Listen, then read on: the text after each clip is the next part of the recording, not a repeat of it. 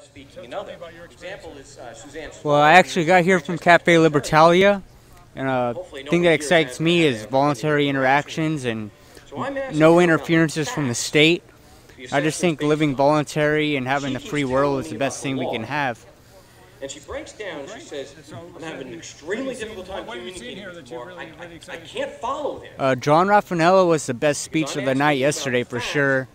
Um, I really enjoy Barry Schwartz because he joins us at Cafe Libertalia. Stefan Molyneux is very good.